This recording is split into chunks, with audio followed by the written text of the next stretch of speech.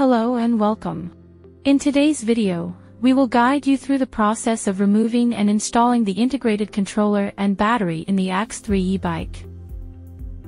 Before we begin, let's go over the tools you'll need. Allen key set. Ratchet with a 14mm socket. Crank puller. Cable ties. Cable cutter. Pair of gloves. Spanner set. First, position the e-bike securely on a bike stand to ensure stability during the process. Make sure the e-bike is powered off, and remove the key if necessary, to avoid accidental power on. Next, cut all the cable ties holding the controller to the motor cable and disconnect the motor connector.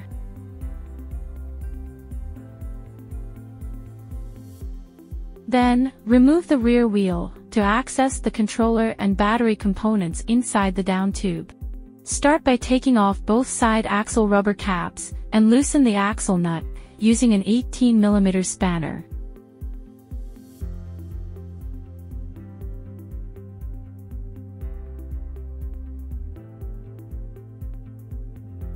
Remove the chain from the rear freewheel and loosen the rear brake caliper mounting bolts for easier wheel removal.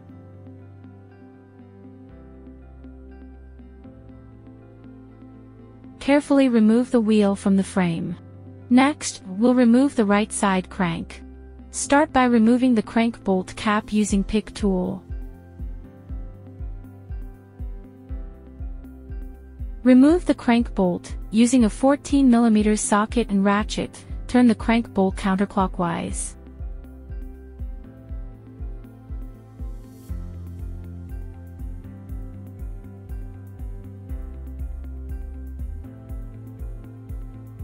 Then, use the crank puller to remove the crank.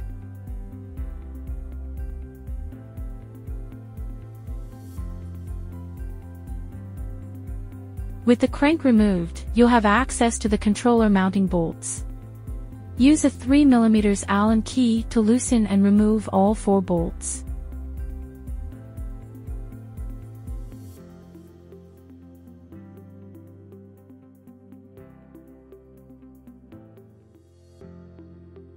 Before removing the controller, disconnect the PAS connector at the bottom and the 13-pin harness at the top of the down tube. Carefully slide the controller battery assembly out from the bottom of the down tube.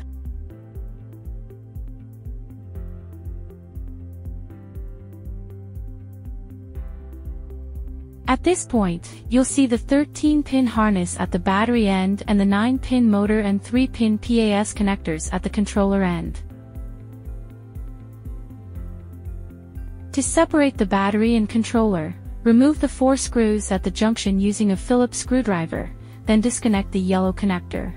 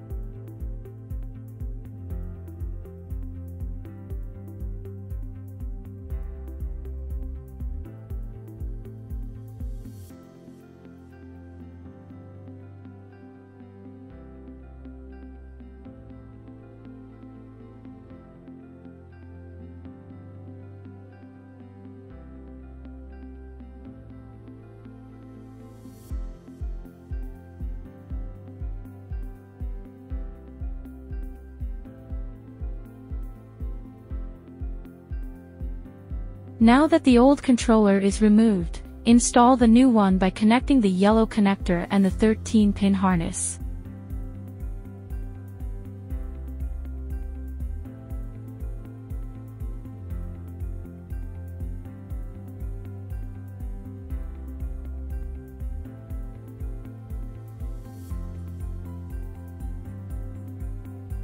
Align the holes and mount the screws to make a single assembly.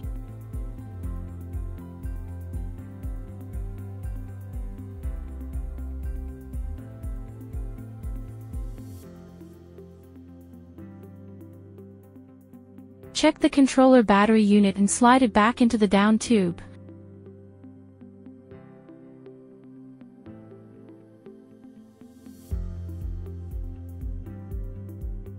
Connecting the 13-pin harness at the top, matching the arrows on the connectors.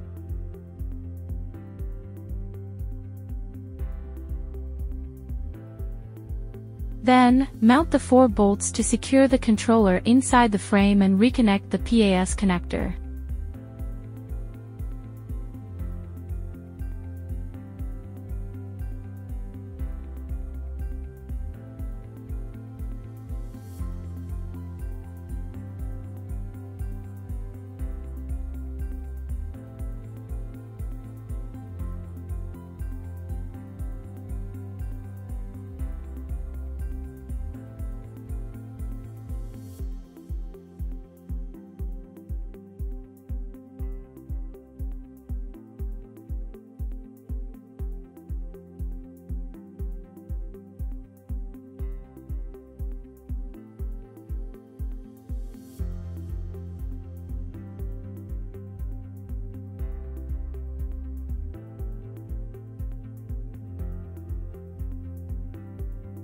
Now, reattach the right crank on bottom bracket AXLE. Align the crank arm at 180 degrees TO left and tighten the crank bolt.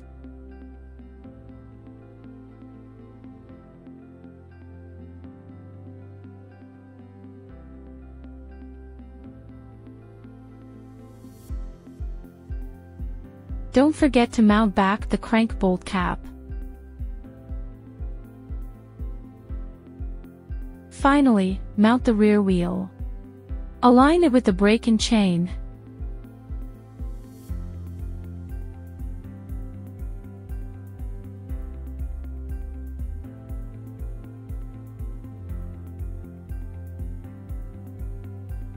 Then tighten both axle nuts using the 18mm spanner and replace the rubber caps.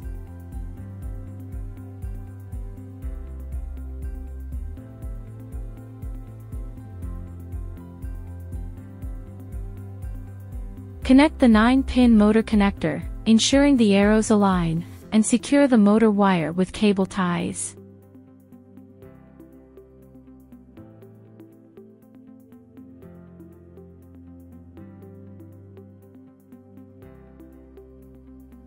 Cut any excess cable ties. Lastly, adjust the rear brakes using a 5mm Allen key.